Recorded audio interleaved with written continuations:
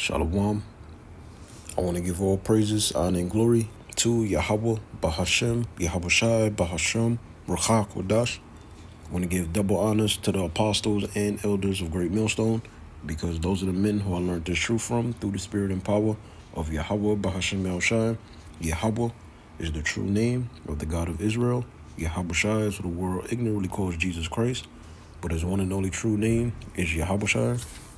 And um, pretty much this video is going to be a Mark of the Beast update, which if you don't know, the Mark of the Beast is the RFID chip implant, according to the scriptures. And the reason why the world is in turmoil, you know, all these countries, they're experiencing an economic collapse is because they want to usher in a new global system that involves a cashless digital society. So all countries are transitioning from using physical cash and this old banking system to now the CBDC, which eventually that programmable digital money will be on a device that they plan to make mandatory, according to Revelation chapter 13, verses 16 and 17. So for now, everything is voluntary, you know, concerning transhumanists getting implants and stuff like that. But the day is going to come where this is going to be made mandatory in all countries because this deals with a new system that's tied to the central bank. All right. So this is the article I found. I actually found it um, a couple of days ago, but now the spirit is on me to do this video, right? So this is from khaleejtimes.com. And this is the title of it if you want to search it up. It says no more lost keys, ID cards, Dubai ex expat to implant microchip in hand. So they're trying to push this mark of the beast, which is the RFID chip implant, as a thing of convenience. They're trying to push this as a miracle. Oh, this can make your life easier. No more wallet. You know, no more crime. You don't have to worry about misplacing it. It's in your hand. But that's the deception part. And the scriptures talk about that in Revelation 19 and 20. It says he deceived them which received the mark of the beast. All right? They was deceived into taking it. But once you receive this chip, you cannot repent. And only salvation is only for the elect of the nation of Israel, of the seed line of Jacob, which are the so-called blacks, Hispanics, and Native American Indians. All right? So as you can see here, this is the woman right here, right? And this is from a site, dangerousthings.com. Now let's jump back to the article, right? So this came out Monday, the 11th of March, 2024. Gives you the time. And it says, goodbye to the days of fumbling with a bunch of keys or worrying about misplacing them for this du Dubai resident. It says, starting next month, Briar um, Pre Prestidge, I guess that's how you say her name, a New Zealand expat is ready to embrace a future without keys, only a microchip implanted in her hand. It says the CEO and founder of the Prestidge Group and award-winning documentary producer, Prestidge is set to undergo the procedure during her upcoming trip to the United States. It says the tiny radio frequency identification RFID electronic tag, roughly the size of a grain of rice, will be surgically implanted in the back of her hand using a syringe. And I'm going to show you how the procedure of the RFID chip implant is in the Bible. All right. It says, um, Prestidge. I'm probably pronouncing the name wrong, but I mean, you see how it's spelled. Sees this as a way to ignite curiosity and inspire a new generation of innovative thinkers to re-image the possibilities for humanity's advancement. I am going to open myself to technology, she said, holding up the chip she recently brought online demonstrating how it works. It says it will be implanted in the fleshly parts of my skin on the back of my hand, she explained, so that I can unlock my car or unlock the door to my house or gym. So the type of times we coming into is all countries will experience an economic collapse in order to usher in a new system that the central bankers control. All right, because this New World Order 2030 agenda, that's their agenda. to centralize the whole world and have full control over the currency in the form of CBDC and also the mark of the beast, which is the RFID chip implant. So if you want to access the internet, you want to be an entrepreneur, you know, you want to be your own boss. If you employed by a company, everything you do in society, accessing the internet, you know, every single thing, buying goods, anything that's associated with buying and selling, you're gonna have to get this chip when they make it mandatory. All right. So the real believers in Hamashiach Yahushua is not going to take that chip. And some of us is going to be put to death pursuant to Revelation 24.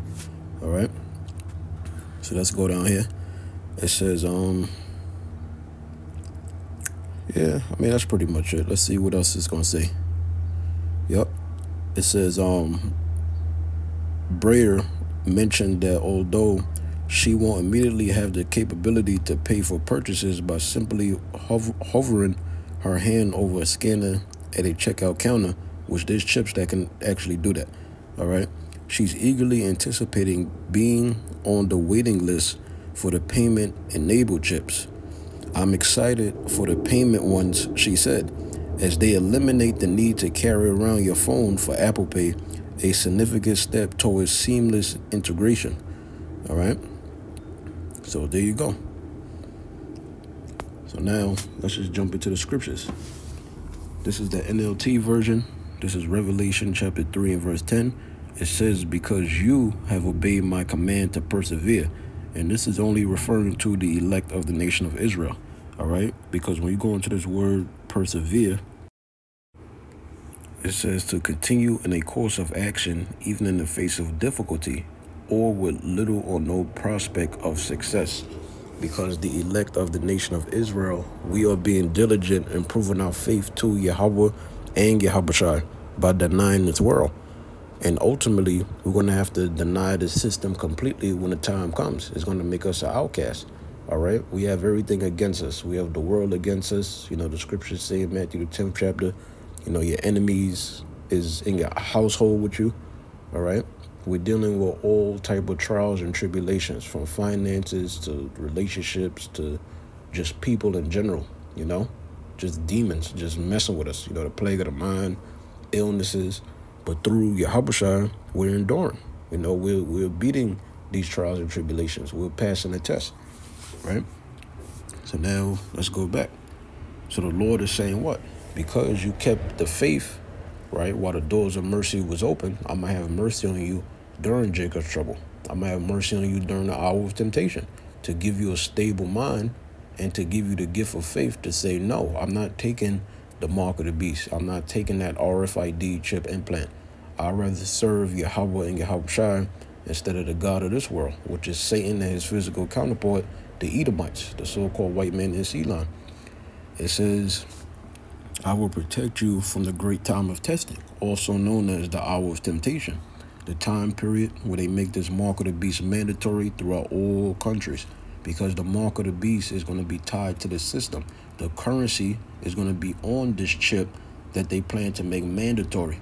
That's why you're not going to be able to buy or sell, at least you have the chip because the money is going to be programmable and it's going to be on a device that they're going to make mandatory. All right. It won't be no other options of um, payment that you can use to buy and sell.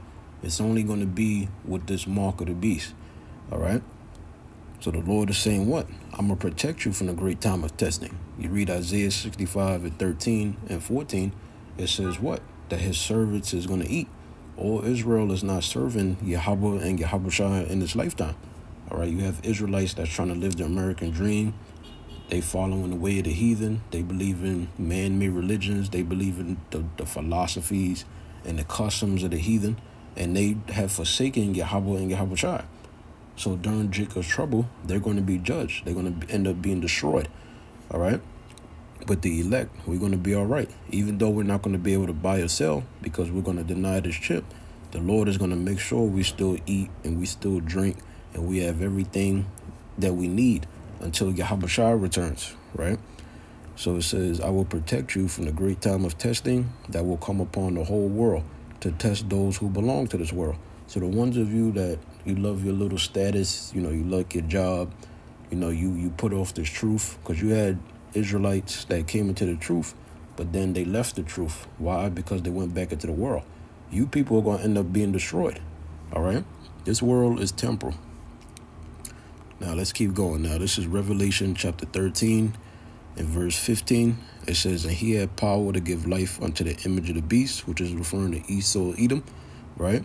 And the image of the beast, it goes back to the setup of the ancient Roman Empire, right? The way how they ran their system. But this current system right now is modeled after the ancient Roman Empire, right? So the image of the beast is talk about his system and ultimately his new world order, right? That the image of the beast, because it's an image of a man, right? Esau is that beast. It says should both speak and is speaking. All these articles coming out, all the news and alternative media, it's all over the place. The World Economic Forum is everywhere. How how could the RFID chip implant not be the mark of the beast? It is. It says, and calls that as many as would not worship the image of the beast should be killed. So there's also going to be a lot of death. There's going to be a lot of persecution during Jacob's trouble. All right. Brothers and sisters that's in the truth, you know, some of us is going to be killed for denying that mark of the beast. So you got to get at that mindset. You know, you may have to die to prove your faith to Yahweh and Yahweh all right? Because they got different executive orders. They got things like Project Megiddo, in which when you search that up, that deals with the persecution of Hebrew Israelites. Remember, we're Hebrew Israelites by blood, all right? Whether you want to accept it or not, you are by blood. If you are a descendant of a so-called black, Hispanic, or Native American Indian man. So it says, and he calls of all. Who's the he that calls of all? The central bankers both small and great, rich and poor. So everybody in society, right? And let me put the strongs on so we could get a better understanding of what the verse is referring to. So everybody in society, from the smallest man to the highest man, from the CEO to a bum on the street or a guy locked up in jail or prison, right? It says, and he calls of all, meaning it's going to be made mandatory, both small and great, rich and poor, free and bond, to receive. When you go into this word receive, the Greek word is didome, and it says what? To give. To give something to someone of one's own accord, to give something to his advantage. So what's the advantage that the central bankers is going to have over you? They're going to have control over your life because your life is centered around buying and selling. You have to buy and sell things and pay for things in order for you to have a life. All right, have a roof over your head, earn finances, earn wages, conduct business, whether you work for a company, you're employed, or you're your own boss, you're an entrepreneur, it still deals with buying and selling. All right. So everybody's going to be affected. So the purpose of the mark of the beast is that what? For control. They're going to fully be able to control you. You bow down to this man and you make him your God. He brands you with his mark, right? And you go into this word, right? A mark. The word mark in Greek is charagma, and it says what? And it printed mark. Because remember, the mark of the beast was a future prophecy. John the Revelator received this on the island of Patmos 2,000 plus years ago. All right? So when you go into these root words, it's going to explain his vision clearer for you so that you can understand that we're in these times right now. Right? So it's something that's imprinted. It's a subdermal implant, meaning it has to be injected underneath your skin. Right? When you go into the root word of charagma, the Greek word is charax, and it says what? A pale steak or palisade. Now, how does this refer to John's vision of the mark of the beast? Because this definition, charax, is talking about the syringe that's used to inject the RFID chip implant in your hand, making it a imprinted mark. All right. When you go into the root word of charax, the Greek word is grapho, and this means to store information on a specific type of material or to store data on a device. And what's going to be on this chip? The different ways to identify yourself. All right, the currency, identification. You hear all countries talking about, oh, we need to come up with a global digital ID. What do you think that global digital ID is going to be? The mark of the beast, which is the RFID chip implant. So you see how everything is just tying together. The chip is going to be the solution, all right, that they're going to come with. And that's the deception part for the one for the ones of you people that receive that chip. Because you're going to have to make that choice. It says in their right hand, your literal right hand, or in your forehead, which is talking about the brain chip implants, right? The BCIs. It says, and that no man might buy your sell. So any decentralized currencies is not going to exist in his lifetime. Cash is going to be banned. Commercial banks is going to be closed, right? The only way of payment is going to be by this chip, all right? It says, and that no man might buy or sell, save he that had the mark. Why? Because once again, the currency is going to be on the mark, all right? You're not going to be able to buy or sell. You're not going to be able to use Bitcoin, precious metals like gold in these times to come. The only way you would be able to buy and sell, earn wages, you know, access buildings, your car, everything, just paying for stuff, having a life is through that chip. Because it said what? He calls of all, right? So it says, save he that had the mark, or the name of the beast, or the number of his name. So now let me show you the judgment if you take this chip. Because this is coming worldwide. This is not just for America. This is worldwide. All countries have a central bank in them. This is Revelation chapter 14 and verse 9. It says, And the third angel followed them, saying with a loud voice, If any man worship the beast and his image, his new world order, and receive his mark, the chip, in his forehead or in his hand, that's your left hand or your right hand or anywhere in your body. This is what's going to happen to you. The same shall drink of the wine of the wrath of the Most High, which is poured out without mixture into the cup of his indignation. The word indignation means righteous anger.